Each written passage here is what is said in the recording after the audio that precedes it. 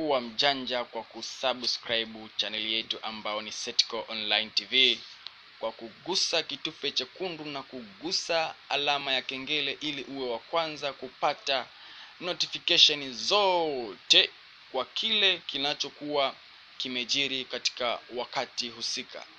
Ah, tumepata taarifa ya hivi punde huko mkoani Katavi kwamba wanakijiji watano wadaiwa kupigwa risasi na askari wa misitu. Inadaiwa askari wa wakala wa hifadhi ya misitu ambao ni TFS wa halmashauri ya Nsimbo waliwapiga risasi sehemu mbalimbali za mwili wanakijiji hao waliolazwa katika hospitali ya mkoa. Waliojeruhiwa ni ndugu wanne ambao ni Josephat Patrick mwenye umri wa miaka 27 ambaye yeye kapigwa risasi mbili kifuani. Pia kuna Geoffrey Patrick ambaye yeye ana umri wa miaka 39 aliyejeruhiwa mkono.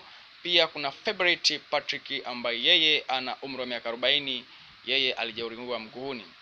Pia ndugu wa mwisho ni January Patrick ambaye yeye alikuwa na umri wa miaka 22 ambaye yeye alijeruhiwa begani na mwanakijiji mwingine.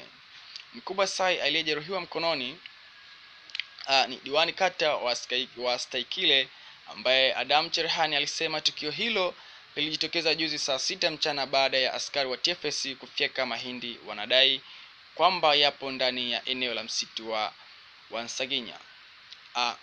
Aidha, baada ya wanakijiji kuwasihi askari wachache kufyeka mazao na kukata, walianza kuwazomea na ghafla askari wakaanza kurusha risasi hovyo hovyo.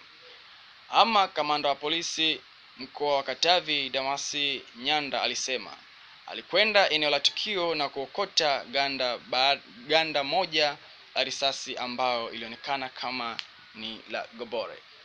Hivyo ndivyo habari tulizozipata mpaka hivi sasa, na takapopata taarifa nyingine tuta